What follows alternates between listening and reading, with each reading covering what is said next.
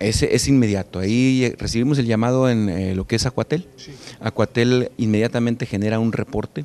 Ese reporte se, eh, se, entrega ahí en forma inmediata también, tanto agua potable o, o alcantarillado. Se programa y dentro del todo el trabajo que estamos realizando en la ciudad, las cuadrillas ya están trabajando. Si el, si el reporte es a media mañana, por ejemplo, las cuadrillas ya están en territorio, ya se encuentran cada una trabajando su, área, se recibe el reporte y en ese momento se le manda una cuadrilla más cercana para que en el mismo día se pueda atender. Nosotros tenemos un horario de trabajo normal de las 8 a las 3 de la tarde que están trabajando todo nuestro personal.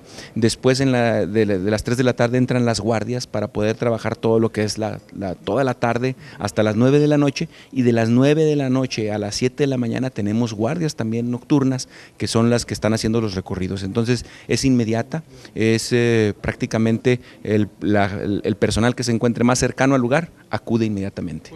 Pues lo, más eh, común es ya el tipo de tubería que, que, está instalada, su tiempo de vida útil pues ya sobrepasó los límites y esto es lo que ocasiona que se den este tipo de situaciones. incluso eh, hemos tenido algunos problemas por algunas eh, situaciones de, incluso de circulación de algunos vehículos pesados por avenidas que no son las adecuadas para la circulación de este tipo de vehículos, eso nos ocasiona también muchos problemas.